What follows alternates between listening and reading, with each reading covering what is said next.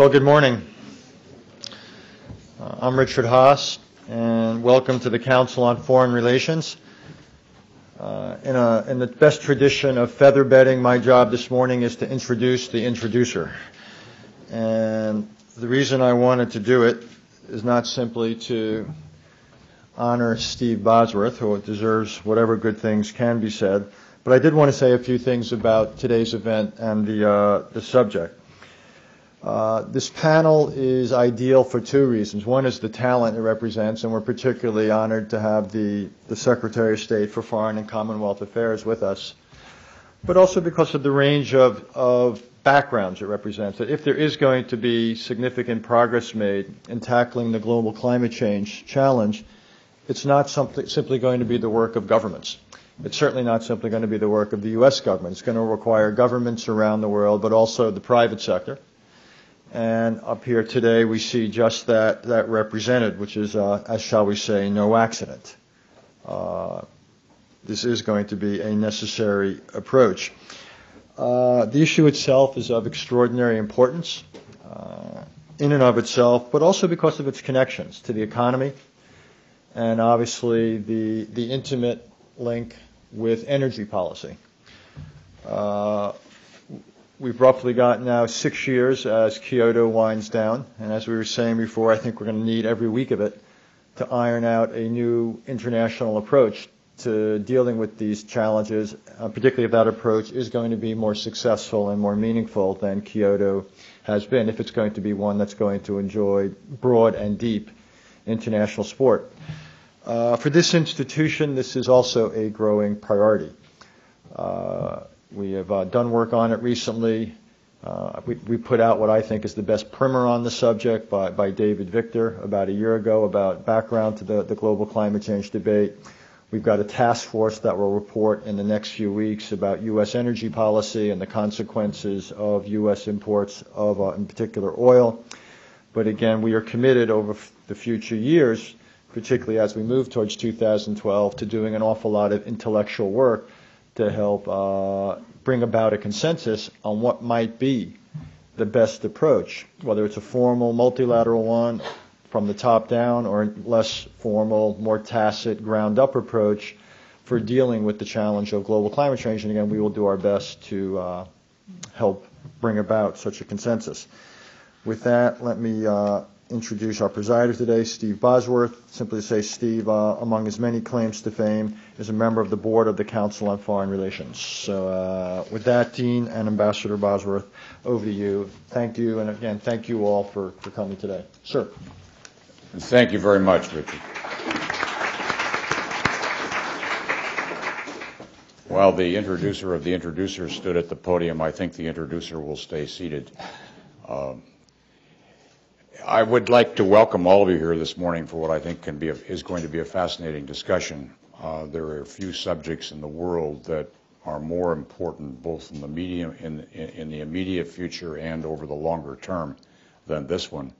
And I'm particularly attracted to this discussion because it focuses on the linkages between the economy, economic security, energy, and this question of global warming a set of linkages that has received a considerable amount of attention, but I, I think uh, deserves even more.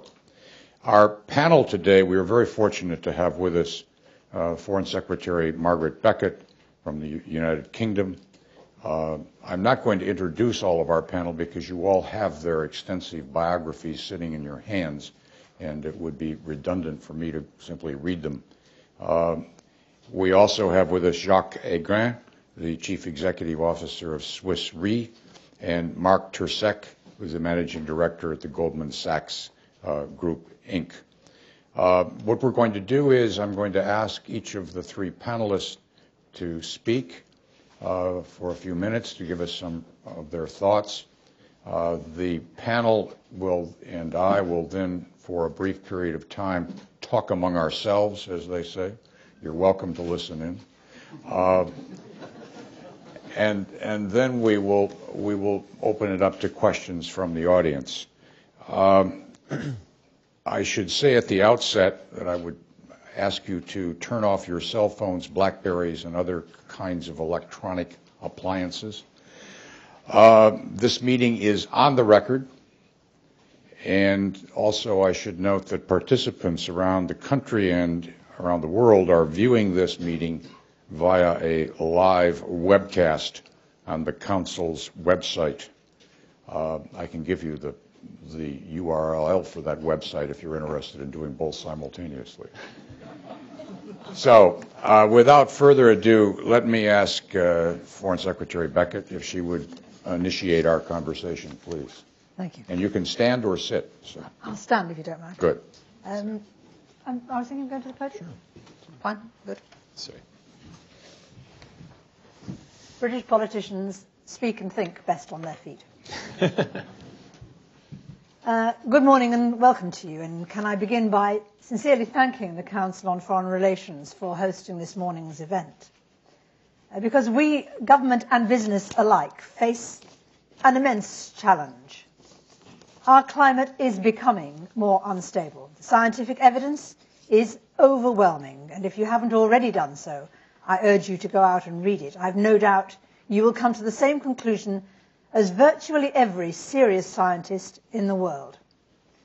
Only a few weeks ago, such a scientist, Professor John Holdren, who's the newly elected president of the American Association for the Advancement of Science, summed up pretty well where the scientific consensus now is. He said, we're not talking anymore about what climate models say might happen in the future. We are experiencing dangerous human disruption of the global climate, and we're going to experience more. It is now literally only one or two fringe scientists and a rather larger number of paid propagandists who still try to deny that climate's changing as a result of human behavior. And it's worth being absolutely clear about two aspects of that threat. The first and perhaps the most serious, is its immediacy. The planet is changing now. Temperatures are rising. We're already seeing changes in rainfall, an increase in the frequency and severity of extreme weather events, melting sea ice and permafrost, retreating glaciers. This is a problem for today, not tomorrow. For us, not just for our children. What we do now will be all important.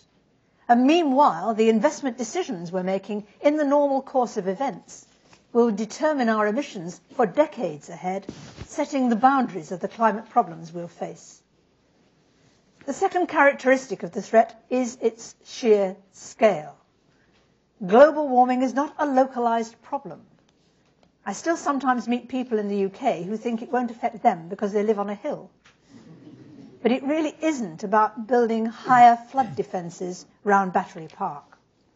This is a global problem with devastating global effects. And that's why foreign policy departments, treasury departments, and defence and security departments are getting engaged.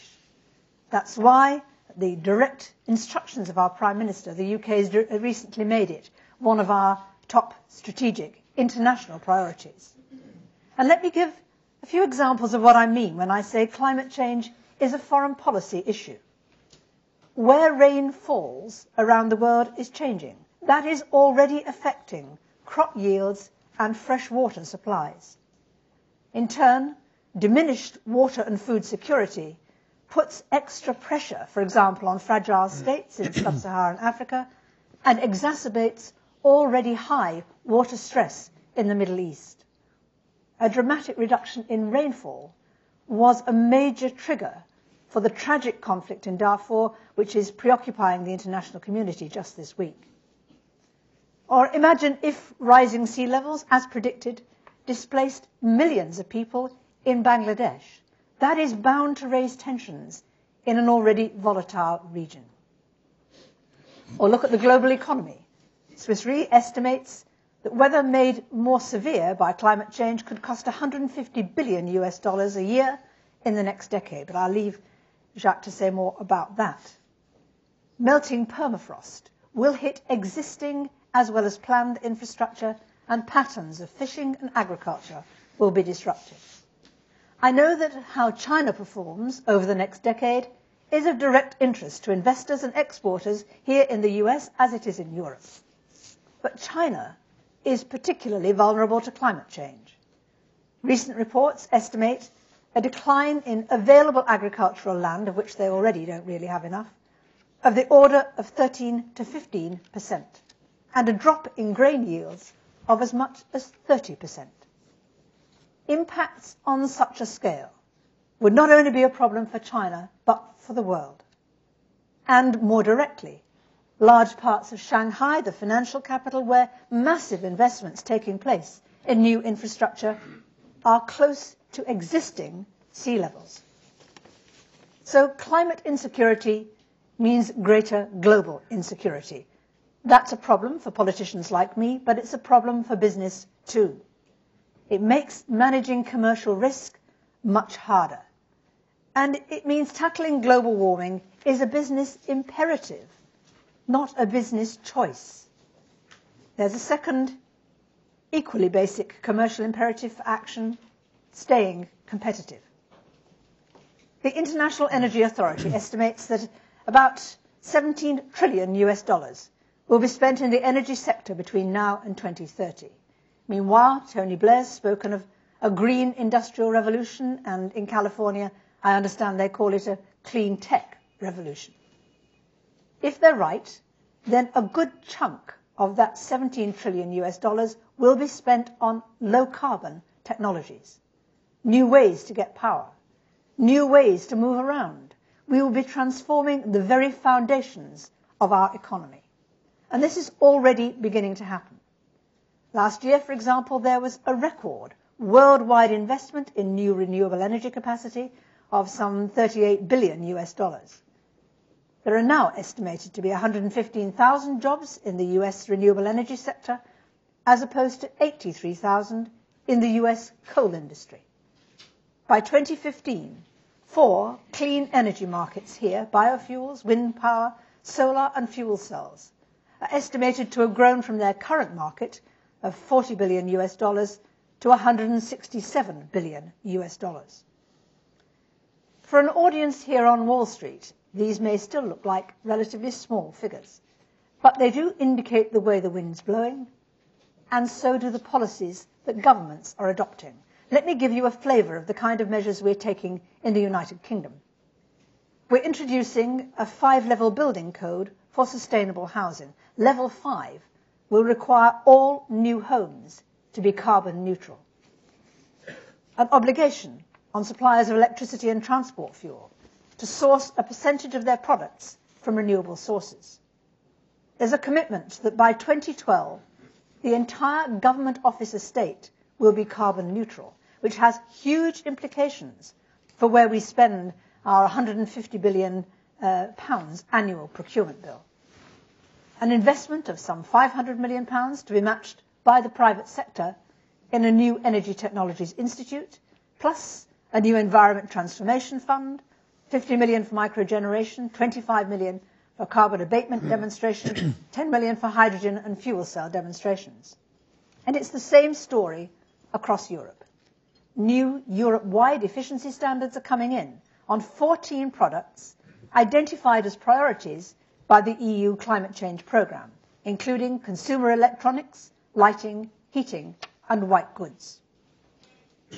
The European Emissions Trading Scheme already covers 11,000 power plants and businesses.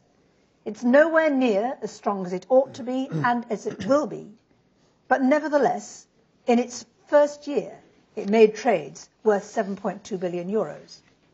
And of course, it's not just in Europe. Globally, carbon trades were up 500% in the first six months of this year compared to the same period last year.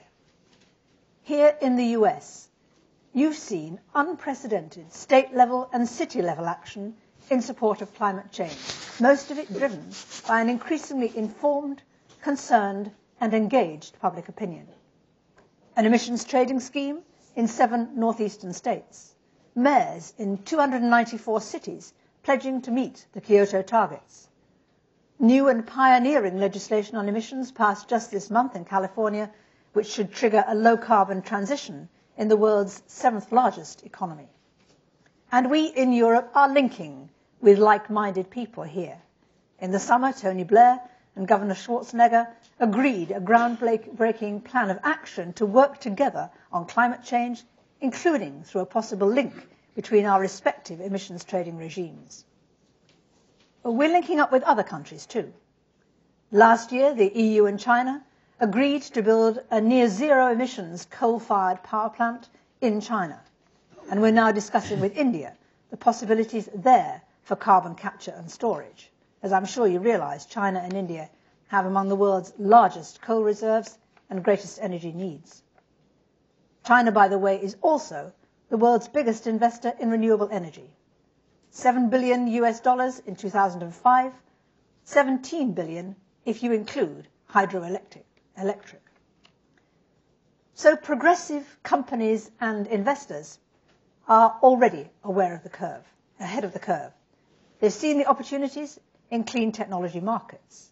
Last year, BP established an alternative energy business mm. unit that plans to invest 8 billion US dollars in renewables over the next decade. And General Electric launched its Ecomagination campaign, a plan to double investment in climate-friendly technologies and reach 20 billion US dollars in annual sales by 2010. And the largest IPO in the last quarter of 2005 was for Sunnyvale-based SunPower, which by the end of its first day of trading had market capitalization exceeding 1.5 billion US dollars. And of course, conversely, companies whose products don't meet the increasingly stringent environmental standards set down by governments and expected by consumers, or which don't take into account the rising costs of carbon, will increasingly struggle against domestic and global competition. That's something of which shareholders are becoming more aware. In 2004 and 5, a record two dozen climate change resolutions were filed by shareholders. Three of the US's five largest public pension funds and the largest private pension fund now routinely support such resolutions. But I don't want to give you the wrong impression. This is not, and it never can be, a case of governments putting a few basic conditions in place and leaving the market to get on with it.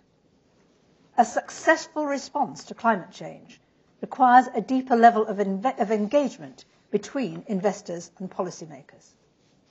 Let me just reiterate the scale of the challenge we're facing.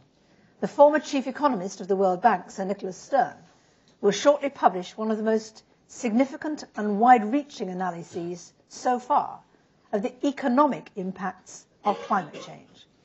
And one of the key emerging findings of his work is that while it won't cost the Earth to solve climate change, it will cost the Earth, literally and financially, if we don't.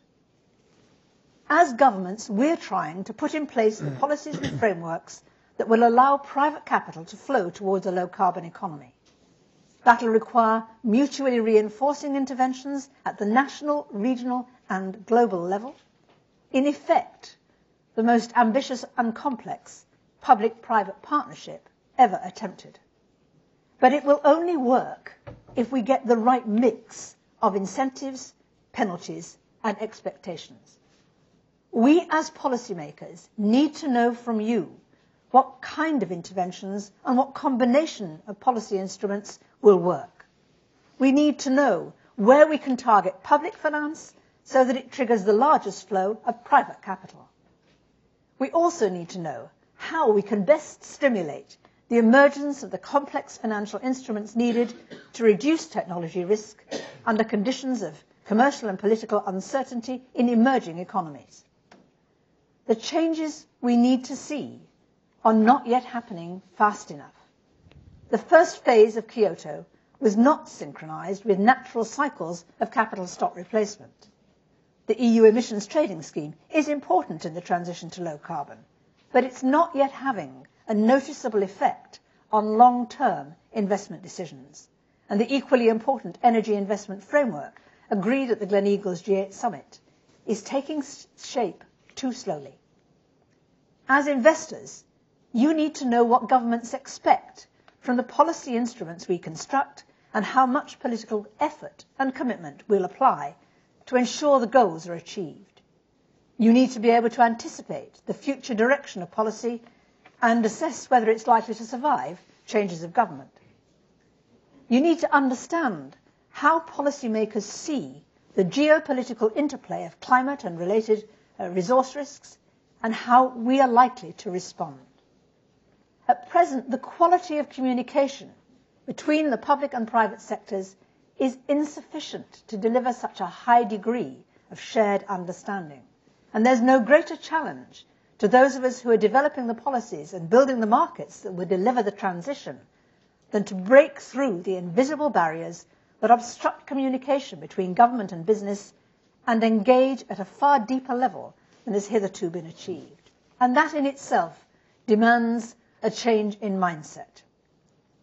It will not be enough simply for you to call in general terms for policies that are, to use the climate change jargon, long, loud and legal, or to press for this tax incentive or for that particular subsidy. This needs to be an exercise not in lobbying, but in building shared ownership of this complex and audacious project, whose goal is to redesign the way we produce and consume energy, achieve mobility, and use land. The challenge for those of you on the front line of the, fin- of the financial transition is to influence government thinking upstream, long before it's fully formed, across a broad spectrum, from finance and energy ministries to their counterparts in foreign policy, agriculture, transport, innovation, trade and development. And you must only do this yourselves. You should look along your own value chains and encourage your clients, your customers and your partners to do the same.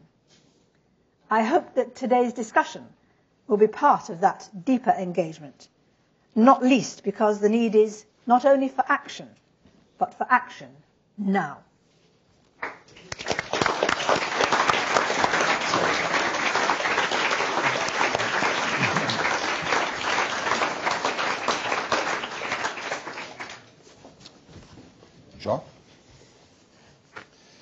Well, th thank you very much, uh, uh, Foreign Secretary, for, for setting the stage. Um, I will have the, the um, maybe less appealing task to a certain extent to speak in terms of the economic risk and the economic dimension of the risks. Uh, and Mark will have the pleasure of speaking about the opportunities, as I think that the, from, a, from a business perspective, we, we actually would both see that there is a very serious case for action now, as the Foreign Secretary underlined. But there is actually a possibility to address it in a constructive fashion in an economically viable fashion. Um, first of all, let me uh, underline how much, as a, as a firm and a, and a, partner, we have appreciated the leadership uh, of Prime Minister Blair and uh, your administration during the last few years. The, the momentum which had been gained on this topic by the uh, leadership opinion of Tony Blair at the time of the Gleneagles Summit and then for the, during the presidency of the uh, European Union last year was tremendous in terms of creating the awareness and building the appropriate level of attentions on the part of both the private and public sectors. Um, indeed, we, we share your perception of the risk. Let me just give a little bit of a sense of what it means in terms of concrete economic consequences. Um, the insurance and the reinsurance industry, uh, unfortunately, uh, to a certain extent, is of course the final payer for the event's consequences. And um, anyone who would like to suggest that the climate change has had uh, only marginal impact on the economy should maybe just remember the events of last year in the US, or actually the previous one uh, in 2004.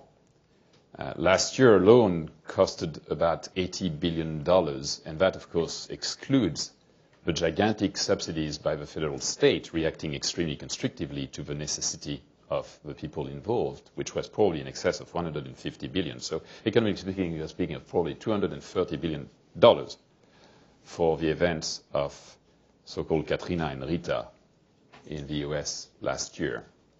And that was, from an, an insurance claim standpoint, the largest ever accumulation of claims uh, sizably larger than the tragic events of September 11. That was just on the back of actually approximately $45 billion the previous year, on which were actually an accumulation of so-called moderate hurricanes. Wait for the big one. The, nobody can suggest that climate change is the only reasons for any single event, and we are not suggesting that. We can never specifically create a causality, but it alters the probability substantially. The risk is that we have a long-term pattern which has deteriorated by a mix of probably long-term trends, which has been observed over the centuries, and aggravated and accelerated by human activities. During the last uh, uh, century, the, the average sea temperature, which is the single most important determinant of windstorms, has increased by 0.6 of a Celsius degree, which is extremely, as it is an average dimension, actually extremely notable. The consequences through the entire ocean structures is pretty dramatic. From an economic perspective, in the short term, these issues of windstorms anywhere in the world, they are accumulating and accelerating in their strength in Asia, and the floods in Europe are also more common and more devastating, uh, is a visible piece. What would worry us most is actually more dramatic events related to the melting, as you mentioned it very well, Foreign Secretary, of the ice cap, in particular in Greenland, where it is losing uh, uh, sizably on a yearly basis, or obviously the West Antarctica situations. To just give you a dimension, Greenland would actually cause the entire sea anywhere in the world to move up six meters the Foreign Secretary mentioned that in Bangladesh, these kind of events would have quite devastating effect. Effectively, probably nearly 20% of the country would cease to exist. I was in Singapore last weekend, and there the authorities reminded me that two meters and 25% of the country is underwater. And you're speaking indeed there of extremely developed economies by contrast to poor economies. So it touched any of us. Six meters, and you don't have too much to think about what does it mean for Brooklyn or actually a large part of London.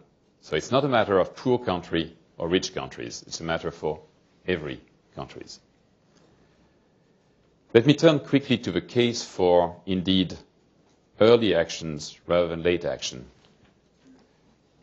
There is a body of thoughts in perfectly uh, good intellectual analysis on the part of some communities of interested parties or intellectuals to suggest that as the probability weighted risk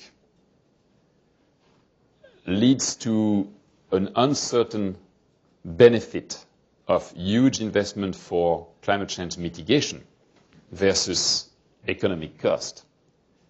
Wouldn't it be better to invest today the same amount of money in pure economic development, making thus both the emerging and the developed worlds in a better economic situations to face adjustments should the negative events occur. One can have some intellectual sympathy for the, for the argument, but it seems to ignore, in our analysis, the tail factor uh, in our industry, the insurance industry, the tail factor is the critical point of focus. It is the way we assess and look at any risk. And frankly, it's not unique to us. I would suggest that when it comes to global financial stability, it's exactly what the regulators are looking at. And when it comes to national defense, it's the very reason we have armies. If it wasn't for the tail factors, frankly, we could save on it. So the same dimension does exist. It looks to us in a number of very good analysis, in particular by the, um, in Australia, and a very good business case has been, uh, business study has been published recently there, demonstrate vividly that the early action would be less expensive than actually late actions. And that's what we would suggest is critical to the developments. And early action goes indeed along the lines mentioned by the Foreign Secretary with regards to the development of steady, reliable, clear, and long-term oriented policies and regulations. As a private sector participant, by definition, we would like to see everything targeted to market solutions and market economy. However, market solution and market economies require a clear line of sight on matters where investment takes decades in many instances. So we need policy changes today that are going to cause the environment of the investment decisions to be indeed reliable and steady for the long term. And, as mentioned very well by the Foreign Secretary, the weather doesn't have borders, so it needs to be multilateral in the decision process and the implementations. Very quickly turning to the last point, which actually was mentioned already on a concrete short-term impact, which is probably of almost greater immediate interest to the investors in this room. CO2 emissions, greenhouse gas emissions, climate change concerns have become a clear liability. The Foreign Secretary mentioned the number of proxy fights. There has been actually quite vocal actions on the part of the major pension funds in the U.S. as well in terms of calling for effective actions and disclosure, quite a number of companies, and in particular the entire oil and utility sector. This is not going to disappear. There is a pressure on the part of the investors community, as well as a pressure on the part of the social body of the land, even more marked in the U.S., of course, than it is in Europe because of the tort system, which is developing. You must probably have read today in the newspaper or yesterday in the news that California has launched a class action suit against the automobile industry about the potential causality of the automobile industry and the pollution and climate change consequences within the state. You won't be surprised that as an insurer, I don't exactly like that kind of action. Um, but while the, for the moment, in terms of legal systems, the causality are very difficult to prove, during both the events of last year and this development of yesterday, we are seeing that it's already moving to the court rather than just being an intellectual argument in the universities. So those are serious matters with serious financial consequences for gigantic part of the economy. It cannot be ignored and postponed to a later date. But again, before passing on to Mark potentially more optimistic views, I would haste to suggest that the last 15 years in many different aspects have demonstrated that if we find the right framework of regulations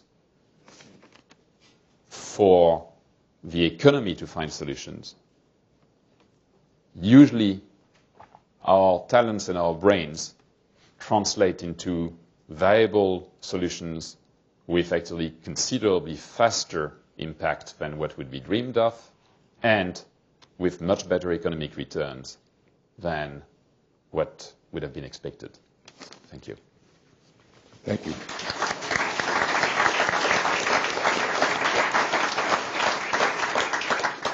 Mark, please.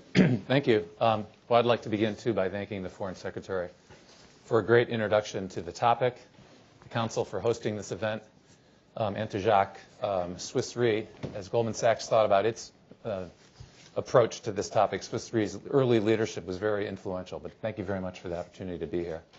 Um, Jacques said I had the easier job of talking about opportunities. And um, as we think about it at Goldman Sachs, we really do think there is some reason to be optimistic. Um, there are lots of opportunities for business in this broad area. There are risks as well. Um, but if you step back, as we step back and think about the bigger picture, the science really is resolved. The technological solutions are well developed. The regulatory frameworks are understood and, and, and presumably could be implemented quickly, yet not enough is happening. And we think there's a, a big opportunity for the broad business community uh, to step up and be a force for action. And so that's what I'd like to talk about a little bit today. Now, I'm, go- I'm going to talk a little bit more about Goldman Sachs because, if I may, because that's, that's the story I know best. But I really don't mean to put us on a pedestal. Um, we're simply trying to be smart business people, looking after our opportunities and managing our risks in a sensible way. And as we look across the landscape, we see most of our uh, competitor peer institutions, the big financial institutions, in their own way attacking the problem. And as we talk to our clients, uh, the same thing is true. So I, think um, in, the, days ahead, you'll see many companies taking very dramatic action to move things forward. They'll be encouraged, as Jacques was saying, by investors, and that's appropriate. That's an important part of the dialogue. But if I can, let me just tell you a little bit about Goldman Sachs. Um, last year, we thought it, would, it was appropriate and important for us to do something about environmental risks broadly and climate change in particular. We're an investment bank, um, and so we weren't sure exactly how to proceed, so we consulted with the thought leaders in the environmental community. And it was a very powerful consultation. We learned a lot. We were encouraged to make a statement about where we stood and what we thought and what we would do. It's a very interesting exercise, not an easy one, because we're a consensus driven organization and these are difficult topics. But in November, we published a statement. Again, we had a lot of help. And in it, we recognized various environmental risks that really do impact our business and the businesses of our clients. And on climate change in particular, um, we said that we recognize the science is largely resolved, that man-made greenhouse gases were the, largely responsible for climate change and global warming, and that while voluntary initiatives are very important, they would not be sufficient, and that regulatory action would be needed as well. and just saying that, I think, was a useful thing. Um, it certainly um, got us in a lot of dialogue that we found productive, um, but by the various observers, um, you know, think tank types, academic types, activists, et cetera. Uh, they were pleased that Goldman Sachs, which is thought of as a very commercial-minded organization, would um, stick its neck out and make that kind of statement. And I think, I think for us too, if, as you think about opportunities, uh, we're in the business of, of recruiting and keeping, you know, the best, brightest young people we can find. And our actions here resonated with, with our employees and with our potential recruits, as well as, of course, with clients. I just mentioned that because that's one of the many opportunities that are available to companies. Mm. But we made our statement about recognizing the problem, and then we said, well, what should we do? And um, we said, well, first and foremost, we should, we should um, you know, get our own house in order. We started with our own environmental footprint. And I think most of my colleagues, certainly myself, we thought of ourselves as a very energy light business. Um, but as we dig in, and we have, we have a long way to go, we learn our, our footprint is not so light. Um, and so what's uh, ensued is a very vigorous, disciplined, aggressive, but still early stage pursuit of understanding the impact we have and exploring how to reduce our impact. Here, though, it's a fantastic story. The more we learn and explore, the more we learn we can run our business in a better way, a lower cost way, and it's been completely a positive, happy story. We're now building a new building across from the World Trade Center site. It will be a LEED Gold building. We're proud of that, but it's absolutely in our own bottom line interest to aim that high. Uh, the buildings, uh, the, on a present value basis, the incremental investment will more than pay for itself. So that was the first step, our own footprint. Then we said, okay, what business are we in? What businesses are we in, and what can they do? And we think this is a good framework for uh, how business should think about it. You know, different businesses can approach this situation in different ways. But we're uh, an aggressive investor. And so at the time, Hank Paulson was our CEO, and so he, he, he, uh, he, announced that we would invest at least $1 billion in the alternative energy space. This was in November. We've just about gotten there. Again, a happy story. That extra push from our policy uh, gave our folks in that area a little extra uh, momentum uh, to get moving, and we've assembled a portfolio. We haven't disclosed everything we've done, but we've really, we're really playing in each of the alternative energy spaces. Um, we feel very good about the portfolio we, we've accumulated. We think we've been a spur to others. Indeed, the hardest thing now to, um, to keep that up is the competition from other investors. I think it's a very happy story. And soon, and soon we'll be seen, I'm sure, taking profits in these investments. Some of the activists we've worked with might be surprised. But um, it will be a, a, very good way to underscore the commercial commerciality of, of this effort. So that was one enterprise uh, or effort, our, our investing. Of course, we're also in the investment research business. Um, we follow companies around the world, and so we said this is a tool we can use. Here we've, we- we've begun in Europe, and again, we have a long way to go, um, but we're introducing sector by sector what we call ESG research, environmental, social, and governance research. There was some skepticism internally about whether our institutional investors wanted this, would care about it, et cetera. But some of these things are chicken and egg things. Once we've produced that research, we've uncovered tremendous interest. Um, and that's given us confidence that as we roll this product out in the U.S., where I'd say there would have been even more skepticism, we think it will find a, a receptive audience. And again, we believe investors can be a powerful force here. We encourage them to do so. We hope we can give them uh, some tools. On the trading business, this is a little more straightforward. Um, our traders are in the business of pursuing uh, economic opportunity. We're big commodity traders, so of course we're active participants in the EU ETS carbon trading market. Um, but more importantly, we hope to have an active dialogue, uh, particularly in Washington, about how comparable regulatory schemes can be set up in the U.S. We hope our expertise as traders can help uh, policymakers, um, and we're optimistic that that can be um, that, that's on that's on the horizon. And then finally, and perhaps most interestingly, but more behind the scenes, is, is our work as investment bankers. Uh, that's my background. My, my, entire career was as an investment banker. And we said in investment banking, um, we would, we would, um, we pledged that business selection and our dialogue with clients would include a focus on environmental opportunity and risk. This is not always so easy. Some of our clients uh, might have preferred we didn't uh, make the inquiries we've made. But anecdotally, there are a whole bunch of great stories where we've uncovered situations that made our bankers nervous. Uh, we've talked to the clients about those situations. Again, sometimes they might have preferred we didn't initially raise the topics, but what we've been able to find in almost every case is a happy ending, and a client has um, focused with a little more attention on the economic uh, exposure arising from environmental risks, worked to find resolution, and learned, like we've been learning, uh, that the resolution is usually a very happy story. Um, you improve your business operation, and um, and improve how people feel about the company. You know, a lot of these anecdotes, by the way, have to do with supply chain management. There's a lot. There has been supply chain management sloppiness out there, and some bad environmental practices, therefore, are supported, for example, by U.S. companies. But as folks dig in on their supply chains, they fix that problem, and they also come away with a much better handle on their supply chain, which makes their business stronger. So these are the kinds of things we're doing. When we, when we published our statement last year, it was a difficult um, exercise internally. Some people on the outside, I think, uh, thought that Hank Paulson just imposed it, but that's not the kind of organization we have. It's a consensus-driven one. Building the consensus to do this took time and effort, and we had our own skeptics.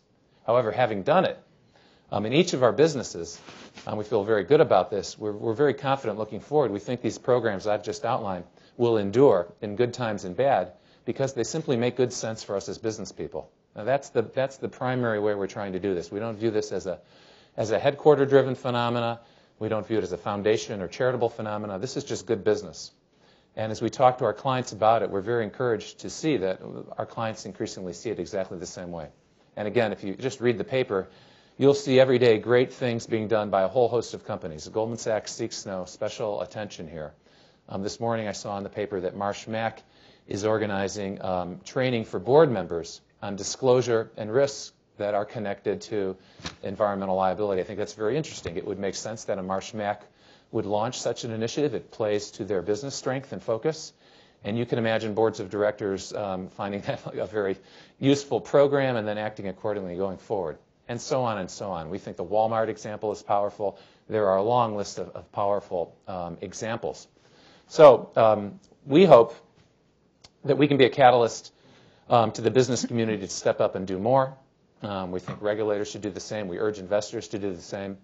Um, but businesses are pretty good, uh, good businesses at least, are pretty good at uh, global opportunities. And this is a global uh, situation we're talking about. Businesses are good at pursuing uh, opportunities. They're good at managing their risks. They are supposed to be good at understanding how investment today can make sense if there's a good payoff down the road. And so we're hopeful that the business community will um, increasingly step up and have a big impact on the dialogue. Thank you. Thank you very much, Mark.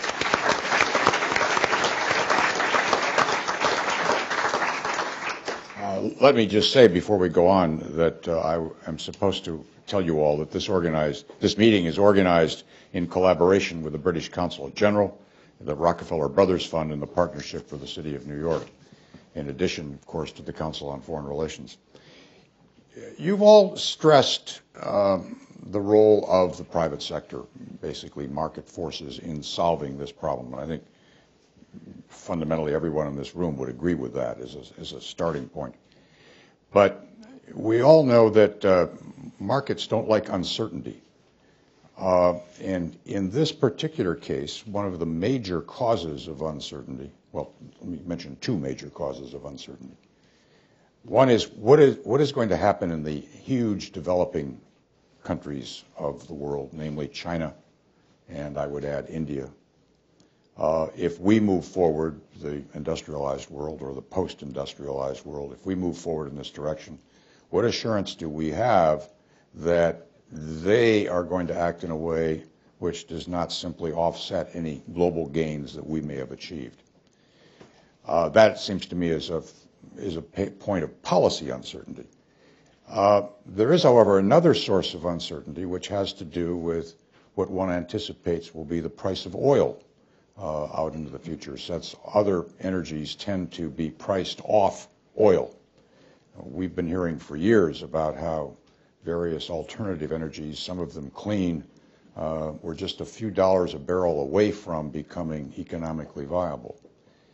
We've seen in the last couple of weeks, actually, uh, again, the volatility that occurs in the oil sector. Uh, and oil is now far from cheap, but it's less expensive than it was just two weeks ago.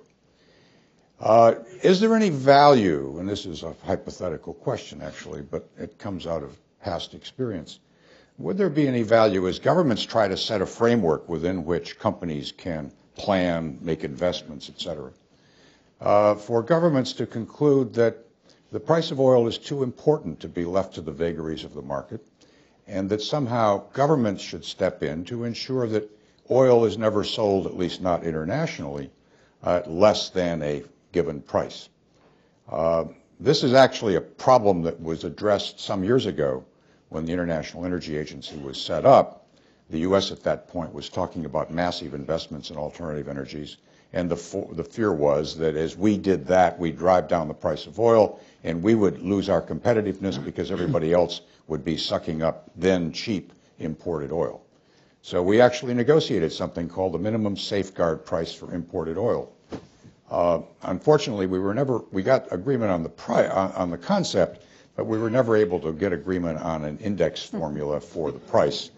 And I think that agreement still exists, and I think the uh, the minimum safeguard price is about seven dollars a barrel. but let me pose that as a as a question. You're all talking about the need for increased cooperation between governments and the private sector, particularly for governments to set a framework of some certainty within which the private sector can respond. So first, China and India. How can we be sure? What can we do to encourage them to act in ways that are reinforcing of our policies? And secondly, what about cheap oil? Do we really want it to come back again? Foreign Secretary? Well, if I can uh, talk about China and India first, uh, you're absolutely right. For those who've, uh, who've, followed some of the technical discussions um, on uh, these issues, there's a classic diagram uh, of what should happen to the world's emissions to try and tackle climate change.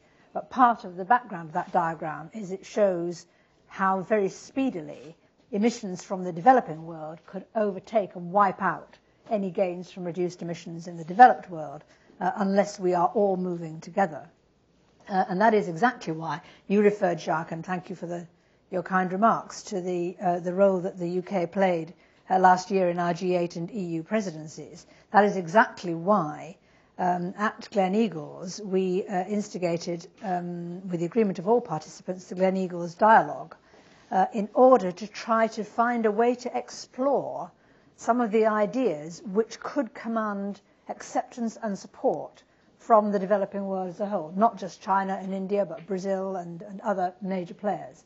And so the Gleneagles summit uh, consisted not only of the G8, but of what were known as the plus five in other words, China, India, uh, South Korea, um, South Africa, and uh, Mexico. And uh, the whole idea was that these are already major but also fast growing energy users. and people who, who indeed um, could, through their emissions, wipe out any gains that we can make. There will come a time, I anticipate, when there will be negotiations like the ones that led to the Kyoto Protocol uh, on a very much a global scale. But in the interim, what we need is exploration of ideas to be carried out by political players who are not looking over their shoulder all the time thinking, I better not say that because that might be held against me in the negotiations and that might be to my disadvantage. We need to give people the intellectual space to explore what are the kind of agreements to which we could get the Chinas, the Indias, and so on to assent. Uh, and that, as I say, is the whole purpose of the Gleneagles Dialogue. We had one meeting uh, last November in London, very constructive and, and, helpful meeting, and we have a further meeting, the second meeting now will take place in Mexico uh, at the beginning of October. Uh, the uh, Japanese, if I recall correctly, have already agreed, uh, no, the Germans, I think, are going to host the next one, and the Japanese have agreed to have a report back from that process during their G8 presidency. Uh, and so that, um, that sequence of events is, is already in place. Um, certainly, I would say that in many parts of the rather large Chinese government, uh, many of the points that we've been discussing this, mo- this morning are well understood. Uh, my former department, uh, the Department of uh, Environment, Food and Rural Affairs, conducted a study with the Chinese Department of Agriculture which led to some of the uh, figures that I uh, produced. And there are many players in China very, very conscious at national level of these problems. Many of the investment decisions, however, are taken at regional level or local level. Uh, and so that's why there has to be a, a, a cascade down um, of concerns. So we're not there in terms of um, it working out, but we uh, certainly are moving, I think, in the right direction.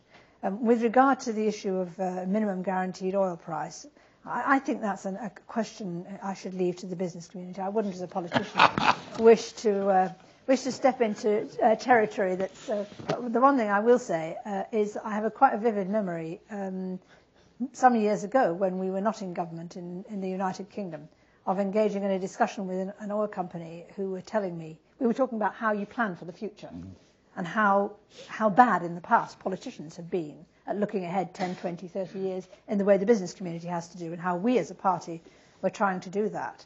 And they, they said, We know exactly what you mean. We had lots of earnest discussions about the fact that we knew the oil price would never get back up to $18 a barrel. Jacques? Um, well, uh, on, on the India and China, uh, I will. Uh, I won't have, of course, the depth of knowledge that the Foreign Secretary has. But I, am struck by the fact that they are Italy extremely uh, conscious of the challenge.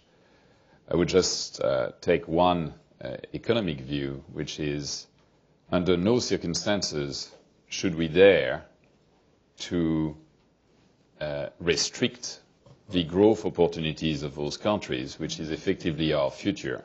Yeah. And we hopefully can always remember that our per capita consumption uh, is, of course, the worst of anywhere in the U.S., followed by Europe in terms of per capita, which is really the, index that we should consider. Now, we should all try to emulate the Japanese case and have a, a per capita consumption and an efficiency of a society as a whole in terms of every dollar of GDP, which is as good as the Japanese achieve it but uh, let's, not totally confuse the scale of their growth needs and thus their expansion of, um, energy use with the absolute amounts that we are speaking about. Um, let's help them have gain from every new plant, every new utilities, every new factories, every new building, and efficiency, which over time will make actually their structures potentially better than ours. Uh, with regard to the oil price, um, I, will, I, will, of course, have a very simple view from, a, from a, uh, an entrepreneur standpoint, which is no price control, please. Let it to the market in either ways. Um, and it applies the other way around.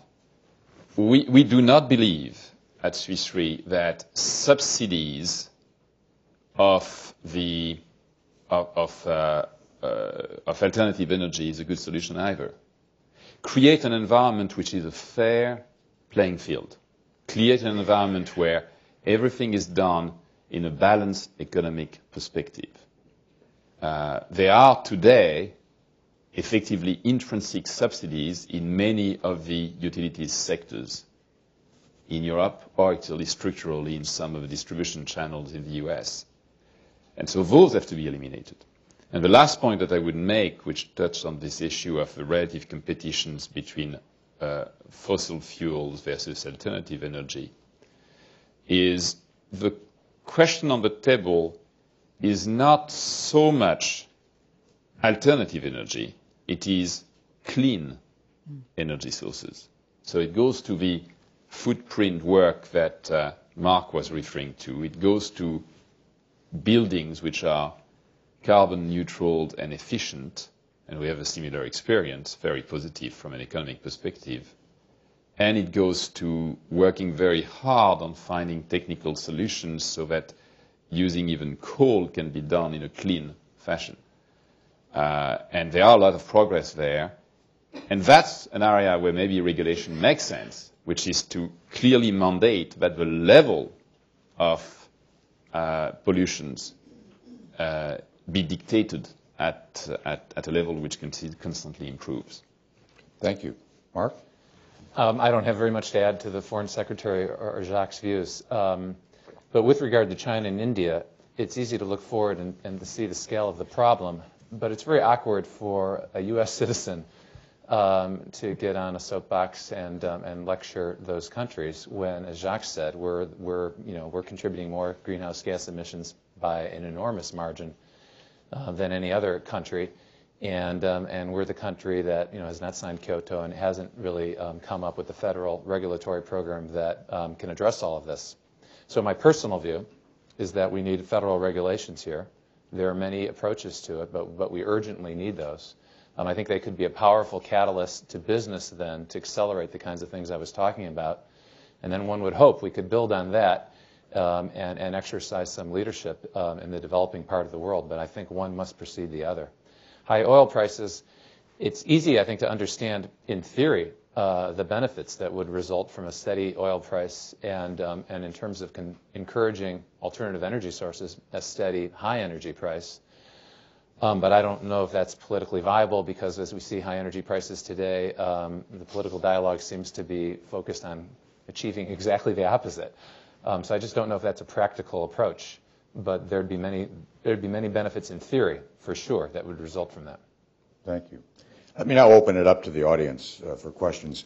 Uh, please wait for the microphone, which will be arriving only a few moments after I recognize you.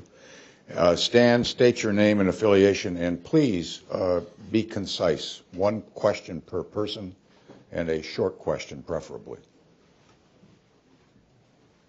Back there, back. Uh, Jim Dingman from the United World Report. Uh, we've had a debate in this country for the past uh, eight years on whether global warming even exists. And we sort of see in the kind of reports the press has had concerning the politicization of this at the national level with uh, people talking about global warming being ordered by the executive branch not to talk about this. I was wondering if you could comment on this and how you see this, because I know, uh, Madam Secretary, your colleague, Mr. Ashton, in June, made a comment about how global warming was related to causing Katrina, and that's precisely the kind of debates and arguments we've been having in this country, and I wonder how we can get beyond this. Foreign Secretary? Well, it's, it's true. I mean, it's not only in the United States. There are uh, various parts of the world where people have continued to argue about whether or not this is real. Um, but I can only really repeat what um, I said in my opening remarks, which is that it is now extremely hard um, to find a, a serious um, scientific argument as to whether or not this is happening. I, I entirely share Jacques' view.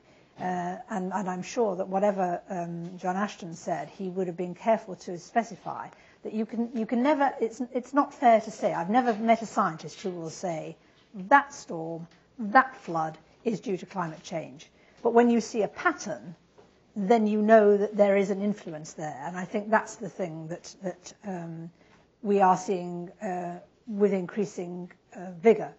Uh, and the other thing that I think is, is seriously alarming now, many in the scientific community, and leading to louder expressions of concern than we've seen before, is the feeling. I mean, again, Jacques referred to the, um, the possible implications of melting of the Greenland ice cap. All of the modelling and predictions is that although such an event would be catastrophic, it would be a long way away. What is really alarming scientists at the present time is their, their growing perception that all of this is happening much faster than they thought and much more seriously than they thought. Uh, and I, I, I remember um, probably a couple of years ago, I was actually doing a, a slideshow for the British Cabinet um, to, uh, to convey these problems um, to my colleagues more directly. Uh, and I wanted to use a slide about the um, ice cap on Mount Kilimanjaro because it's a nice dramatic photograph. Uh, and I was told, no, I'm not sure whether this is, uh, whether we're not absolutely certain that this is totally climate change. There could be other factors. Um, but I had a picture then for the ice cap the previous year. A, about a couple of weeks after I'd done the presentation, one of our um, major national newspapers published another photograph of Mount Kilimanjaro, and the ice cap was like 15, 20% of what it had been in the previous photograph that I had been thinking of using. This is accelerating away from us. Um, that, I think, is the concern. Uh, and um, all, all of us can do is to try to make sure that that case and that argument is consistently understood. I personally have taken the view for a long time um, that different views in different governments across the world will be influenced more dramatically by the views and the pressures of the business community than by anything else. That, if I may say so, is why I'm here. Yes. Stephen Cass from Carter Ledger in Melbourne. Apropos of the Secretary's uh, comment, I wonder uh, what whether the um, advice and counseling that Goldman Sachs and Swiss Re are giving to its clients includes uh, either for itself or for its clients uh, advice on uh, persuading the Bush administration to open its eyes and ears. You know, there are, um, Goldman Sachs itself isn't, isn't directing these efforts, but there are a number underway, a number of, I think, very interesting efforts by business leaders to build a consensus among themselves and, and go uh, public, if you will, with, um, with, a, uh, with support for the federal kind of federal regulations that we've been talking about. And so I'm hopeful that you will see that um, in the public in short order. There, there, are some very sincere and energetic efforts underway, but of course it's a difficult thing to do. It's difficult for business leaders to reach a consensus among themselves about what a regulatory framework might look like because any regulatory framework you can design will impact different companies differently. There'll be winners and losers. And so I don't know how far businesses can go in articulating a specific rec and policy recommendation but I'm pretty confident you'll hear more and more support for such regulation. Already in Senate hearings, you saw the CEOs of utilities that would be directly impacted calling very clearly for regulation and explaining that um, it simply was necessary for them to be smart about the long-term capital investments that they're making. And so some of those businesses suggested, CEOs suggested, they weren't necessarily in favor of regulations, but because they thought they were coming anyway, the sooner they were here and clearly understood, uh, the better. So I think you'll see the business community doing more and more, and, and it's already acting.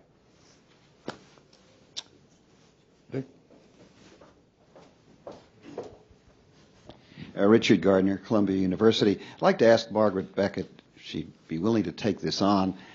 What would you like to see the next U.S. administration do specifically uh, by way of an international undertaking. Uh, would you want to engage the next president in a new Kyoto uh, treaty for the time frame beyond 2012, uh, taking specific commitments to limit greenhouse gas emissions?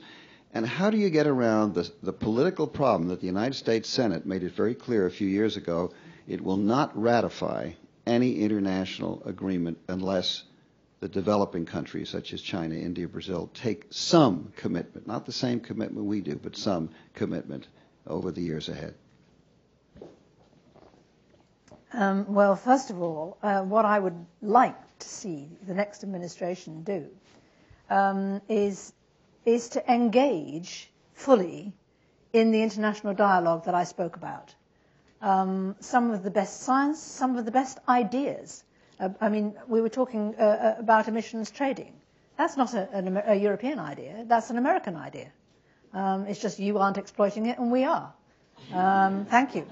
Um, uh, uh, you know, I would like. To, I, I, I, understand completely. I'm very conscious. I, I spent um, six years uh, up to my eyebrows in, in all of this uh, for the UK government, and I'm very conscious indeed of the, the genuine concerns that are felt um, uh, in the United States government, and the genuine feeling that the way that the Kyoto Protocol Agreement was put together was not not satisfactory. But my argument is if you don't like the way the previous regime was shaped and you think it's full of flaws, then get involved in shaping the next one. And the earlier the better. Because that way, maybe, and you know, there is a huge intellectual powerhouse in the United States. I don't need to tell you that. Um, and so what we would really like is the maximum amount of engagement um, uh, from uh, the, the United States government in trying to solve some of these problems which beset um, all of us and trying to, to get involved in the discussions about what new framework we could have. It may or may not be, uh, uh I'd be quite surprised, to be honest, if it's exactly like the Kyoto um, uh, Protocol. Um, but what it needs to have is a very clear framework of agreement, a clear understanding as to what people um, are able and prepared to do, and, and clear and, and serious um, goals and, and targets. Um, as to the issue of the Senate, yes, I, again, I'm, one of the things that I've often said to earnest environmental campaigners across the world is that um, the American Senate was absolutely refused to ratify um, uh, the Kyoto Protocol, uh, and that uh, it's not yet clear that a majority of opinion there uh, has changed. But uh, again, I go back to the, the general thesis, which is that the pressure will come, I believe, from the, from the bottom up, both from the business community, from the, uh, the population, and so on. And that's what politicians do. They respond um, to a, a, changing political climate, um, as well as to a changing climate in itself. And I, it's precisely because we understand that argument, first of the scientific necessity of developing countries taking action, as we were discussing a moment ago, and second, the political um, feeling that this cannot just be. The, the, the phrase in the, in the Kyoto agreements is uh, common but differentiated. We all have a common responsibility, but some of us are better able to bear it, uh, particularly in the early stages, um, than others. And that, that runs through the Kyoto Agreement, and it's very important as a basis. And there's huge suspicion in the developing world that we are trying, exactly as, as Jacques indicated, trying to stop them developing. And that is bound to be their key priority uh, if you've got millions, billions of poor people, um, raising their standard of living, giving them enough to eat, is your top priority. And what we have to make sure people understand is that climate is threatening that very capacity. But I would just make one other um, observation, uh, which is that the nature of the argument put by uh, some US policymakers has somewhat evolved over the years. As you say, in the beginning, it was that we aren't going to take this action because developing countries are not. We have gone through a period where people were arguing that actually it's not fair to poor developing countries. Um, and that America is really on the side of these poor developing countries who the na- wicked, nasty Europeans are beating up and saying you've got to take action about climate change. But I think we've gone back again to the, um, to the recognition that actually we all have to take action and there's no free ride for anybody. Right here on the aisle, please. Uh, thank you, Ariane Van Buren, the Director of Investor Engagement for Ceres and the Investor Network on Climate Risk. When the trustees of the largest American funds wrote to the 50 largest fund managers around the world, all but a handful said in their they were asked about their capacity to assess climate risk uh, to investments. It was even pre-opportunity days and they said we only th- we only measure and we only work 12 to 18 months out. So I guess particularly to Mr. Tercek, I'd be interested in your views as to how to bring the longer term, even if it's 24 months, you know, how to bring that into the shorter term and, you know, the, the, the constant pressure that we're all under in every job that we hold to, to act faster and quicker and always shorter term. So I think so many would agree in this room on where we're going, and yet how do we bring it into the mechanisms that govern the world that you work in? Uh, you know, I'm not familiar with the, with the uh, the response you have, of course, but it, it doesn't ring true to me in terms of my work as an investment banker with uh, the CEOs and boards directing um, companies around the world. I see companies all the time grappling with much longer term frameworks for decision making. And you know, I mentioned utilities that make capital investment decisions with 50 year lives. So they're not thinking in, in 24 month periods, to be sure. Um, and I also think that I'm not sure when your survey was taking place, but I think a lot has changed since then. Uh, I think investor groups like Ceres and the Carbon Disclosure Project um, and many others do a very good thing um, by using their clout to direct companies to focus even greater attention on the risks and opportunities we're talking about. And I think you can expect um, well-run businesses to be focused on those topics. I fear we're going to have to draw this to a close because we have a convergence of events here at the council uh, today. And before asking that we thank, you join me in thanking our panel, I want to make the point everyone has to leave through this door. Uh, there are dogs in the back. So. Foreign Secretary Mark Jacques, uh, on behalf of the audience, I would like to thank all of you for what I think has been an exceptionally stimulating informed, even erudite discussion. And uh, I personally would hope that uh, I can hear more of this because I think this subject uh, is in the immediate future and in the longer term. It is one that is fundamental uh, to the health of this, uh, of, this, of this world. So thank you all. Please join me in thanking you.